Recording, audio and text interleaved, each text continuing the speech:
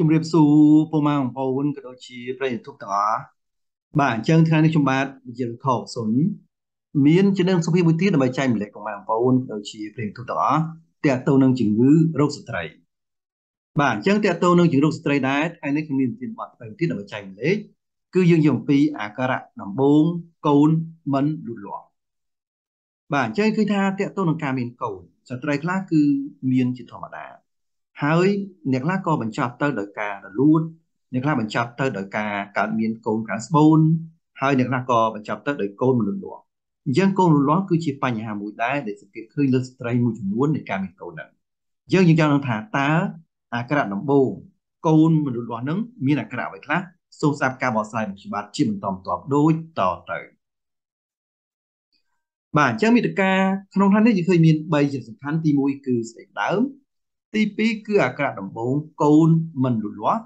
និងទី3គឺការយកកូនលើកទី2បាទអញ្ចឹងយើងថាតើអាការៈដំបូងក៏ដូចជាអាការៈបន្ទាប់នៃកូនលូតលាស់ហ្នឹងមានអាការៈអីខ្លះនិងការយកកូនលើកទី2នឹងគួរតែយកនៅពេលណាបានសូមស្ដាប់ការបកស្រាយរបស់ខ្ញុំបាទជាបន្តទៅទៀតបាទអញ្ចឹងយើងមើលស្អីដើមកូនមនុស្សលាស់ដែលភាសាអង់គ្លេសហៅ miscarriage បាទភាសាបារាំងហៅ crozet arrêté បាទ crozet arrêté បាទគឺជាដំណើរមួយដែលកូនមិនលូតលាស់ជាបន្តឬក៏ស្លាប់ហើយសុកនិងជីលេកាកូននឹងគឺស្ថិតនៅក្នុងស្បូនចំពោះកូនមិនលូតលាស់យើងឃើញថាស្ត្រីខ្លះក៏មានរោគសញ្ញាទៅស្ត្រីខ្លះគឺមិនទាន់មានរោគសញ្ញានោះទេប៉ុន្តែនឹងចាប់មានរោគសញ្ញាជាបន្តបន្តនៅពេលដែលមានការវត្តទៀត បាទអញ្ចឹងយើងមើលរូបភាពនេះយើងឃើញថាជារូបភាពមួយដែលយើងសង្កេតបាទយើងជួបតាក់ទងនឹងបញ្ហាកូនមនុស្សលាស់ហ្នឹងបាទយើងឃើញថារូបភាពហ្នឹងគឺថងកូនហ្នឹងតូចបើធៀបជាមួយនឹងទំហំកូនបាទហើយស្ត្រីហ្នឹងគឺយើងជួបហ្នឹងគឺស្ត្រីមានធ្លាក់ឈាមបាទគឺមានកូនហ្នឹងធ្លាក់ឈាមតែម្ដងបាទហើយបើយើងមើលទៅយើងឃើញថាក្នុងមានកូនហើយបាទហើយកូនហ្នឹងគឺมันមានបេះដូងទេ បាទយើងឃើញថាកូនដែលមានបេះដូងគឺអាយុចាប់ពី6ទៅ7សប្តាហ៍ឬក៏7សប្តាហ៍ឡើងទៅប៉ុន្តែកូនហ្នឹងអាយុគឺចាប់ពី6ទៅ7សប្តាហ៍ហើយនៅតែចាប់បេះដូងកូនមិនបានមានថាប្រវែងកូនហ្នឹងលើសពីឬក៏ស្មើ7មីលីម៉ែត្រឡើងទៅហើយនៅតែចាប់បេះដូងកូនមិនបានហើយយើងឃើញទៅគឺថាកូនហ្នឹងគឺបាទថងកូនតូចពេកបាទហើយកូនអត់មានបេះដូងទៀតហើយស្ត្រីចាក់ឈាម បាទហ្នឹងគឺយើងឃើញតាមរូបភាពអេកូហ្នឹងបញ្ជាក់ថាតើតូននឹងកូនមិនលូតលាស់តែម្ដងប៉ុន្តែដើម្បីវាវិតម្លៃពិតប្រាកដគឺមានការតាមដានបាទតាមដានពីដំបូងមកសំខាន់មកថាយើងតាមដានពីកន្លះខែមុនគឺកូន4អាទិត្យមកដល់ពេលនេះគឺយើងឃើញថាកូន7អាទិត្យប្រហែលថា3អាទិត្យក្រោយមកគឺ7អាទិត្យប៉ុន្តែនៅតែមានវីដេអូបាទហើយស្ត្រីមានការជិះឈាមអានេះគឺជាសញ្ញាមួយដែលយើងគួរចាប់អារម្មណ៍ យីមើលតទៅទៀតគឺតកតូនអាក្រៈដំបូងនៃកូនមិនលាស់តើវាមានអាក្រៈខ្លះសូមចាប់ការបកស្រាយជាបន្តទៅទៀតយីមើលអាក្រៈដំបូងកូនមិនលាស់ទី1គឺញឹកញាប់มันមានរោគសញ្ញាទេបាទអញ្ចឹងលើស្ត្រីមួយចំនួនធំយើងឃើញថាគាត់អត់មានរោគសញ្ញាទេបាទហើយយើងឃើញថាអាក្រៈដំបូងលើស្ត្រីទី2តកតូននឹងកូនមិនលាស់គឺជួនកាលធ្លាក់សដោយពណ៌ត្នោត យើងស្ត្រីត្រូវកត់ចំណាំនៅពេលដែលខ្លួនឯងមានកូនហើយសាប់តែនឹងធ្លាក់សដូចជាពណ៌ត្នោតបាទហ្នឹងគឺជាសញ្ញាដំបូងហើយដែលតកតូននឹងកូនមិនលូតលាស់យមើលតទៅទៀតគឺអាការដំបូងនៃកូនមលួសទី3គឺរោគសញ្ញានៃការចាញ់កូនគឺថយចុះបាទដូចជាថយចុះនៃការចង្អោបអួតបាទឬក៏ចង់អួតរបស់ស្ត្រីតែម្ដងបាទនេះអាការទី3ដែលស្ត្រីត្រូវមានការចាប់អារម្មណ៍តាក់ទងកូនមិនលូតលាស់ យមើលតទៅទៀតគឺអាការដំបូងនៃកូនមិនលូតលាស់ទី4គឺបាត់នៃការឡើងទៅដល់បាទជាងទៅយើងឃើញថាដោយសារមានបំរែបំរួលអរម៉ូនរបស់ស្ត្រីធ្វើឲ្យស្ត្រីមានការឡើងដោះដែលឡើងឈឺសង្កេតដោះហ្នឹងគឺតកតងសញ្ញានៃការមានកូនស្រាប់តែសុកសុកស្រាប់តែមានការចុះថយក៏ការបាត់នៅការឡើងទៅដោះហ្នឹងស្ត្រីត្រូវមានការចាប់អារម្មណ៍ផងដែរអំពីអាការៈតកតងនឹងកូនមិនលូតលាស់បាទនេះគឺជាអាការៈដំបូងសំខាន់សំខាន់ដែលយើងឃើញមានតកតងនឹងកូនមិនលូតលាស់ដែរ យមកតទៅទៀតតកតងនឹងអាការៈបន្ទាប់នៃកូនមិនលូតលាស់តើវាមានអាការៈអីទៀតជាបន្តមកទៀតដែរ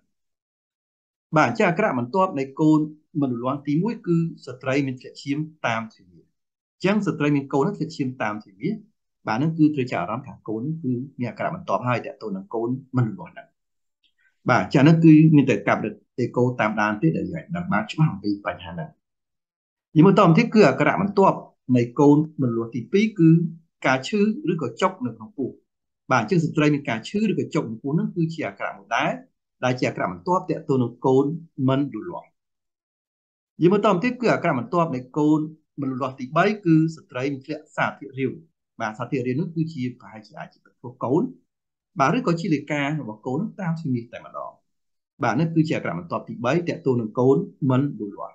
អញ្ចឹងវាធ្វើឲ្យស្ត្រីនឹងបើយើងបណ្ឌិតកូនទៅស្រាប់តែថងកូនវាតូចជាងមុន ជាងធម្មតាបាទនឹងការទី3តទៅនឹងកូនមិនលូលាស់ផងដែរយមកតទៅទៀតគឺអក្សរបន្ទាប់កូនលូលាស់ទី4គឺបាត់ទាំងស្រុងតែម្ដងបាទបាត់ទាំងស្រុងនៃសញ្ញានៃការមានកូន បាទដូចជាលេខចាញ់តែម្ដងបាទហើយមួយទៀតគឺបាត់នៃការឡើងតឹងជាដោះស្គីដោះតែម្ដងបាទនេះហើយគឺជាអក្សរចុងបន្ទាប់ណាតទៅនឹងកូនមនុស្សផងដែរបាទអញ្ចឹងស្ត្រីគួរតែស្វែងយល់ទាំងអស់គ្នាជាពិសេសគឺនៅពេលមានកូនបាទមានកូនបាទអ ញ្ចឹងគឺថាអ្នកខ្លះបន្តទៅធម្មតាជាកម្មកូនធម្មតាប៉ុន្តែអ្នកខ្លះបញ្ចប់ទៅដោយការកើតមានកូនមនុស្សលាស់ផងដែរអញ្ចឹងយើងឃើញថាតកតននឹងការយកកូនទី2តើគួរតែយកនៅពេលណាបើសិនជាគាត់ធ្លាប់មានប្រវត្តិកូនមនុស្សលាស់ម្ដងហើយអញ្ចឹងយើងឃើញថាតកតននឹងការយកកូនលើកទី2បាទគឺថាស្ត្រីអាចព្យាយាមយកកូនលើកទី2ម្ដងទៀតក្រោយពីការមករដូវឡើងវិញបានធម្មតាជាងមានថាស្ត្រីមករដូវបានធម្មតាមួយខែពីរខែហើយអាចព្យាយាមយកម្ដងទៀត ប៉ុន្តែគ្រូពេទ្យមួយចំនួនក៏បានស្នើថាត្រូវរងចាំយ៉ាងហោច3ខែបាទ3ខែក្រោយពីកូនមនុស្សលាស់មុននឹងព្យាយាមយកកូនលើកទី2ម្ដងទៀតពីព្រោះបើយើងយកឆាប់ពេកអាចនឹងមិនលាស់ទៀតបាទអញ្ចឹងយើងត្រូវដឹងពីមូលហេតុរបស់វាតើមកពីអីដែលយើងត្រូវ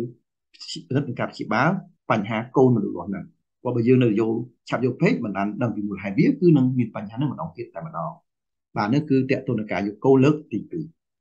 ចឹងបើសិនជាស្ត្រីមានសញ្ញាឬក៏បញ្ហាតកតននឹងកូនមនុស្សលាស់យើងឃើញថាខាងប្រាសាទយុជមមើលដល់សេវាពិនិត្យវិជាបាលស្ត្រី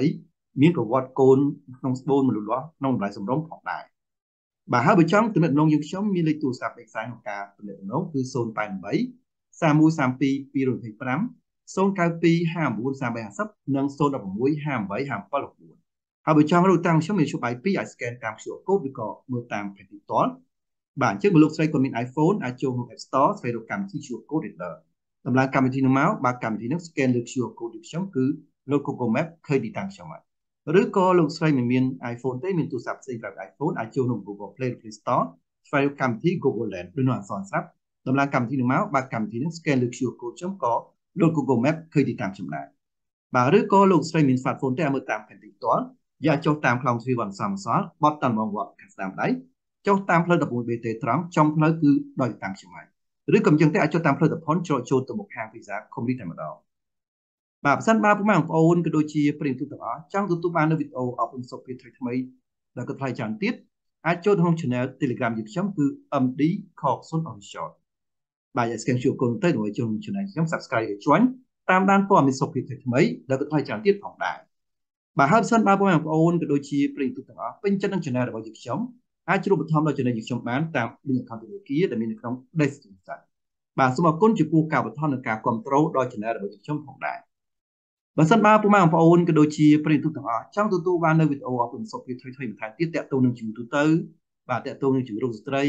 បាទតាក់ទងនឹងបញ្ហាសញ្ញានៃការមានកូដឬក៏ជុំវិញនៃការមានកូដផ្សេងៗក៏ដូចជាការរៀនពេទ្យរបស់សិស្សពេទ្យយើងអាចចូលក្នុង YouTube Channel បាយពាក្យ Khoksun MD Official ដូចនៅអក្សរស្រាប់បាទ search ស្វែងរកទៅ ពេលនេះគឺ logo របស់យើងខ្ញុំចូលក្នុង Channel ចុចពី Subscribe និងរូបកណ្ដឹង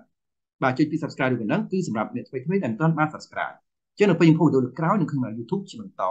ជួប Subscribe អ្នកមួយដើម្បីលើកទឹកចិត្តក្នុងការធ្វើវីដេអូជាបន្តទៀតបាទសូមអរគុណ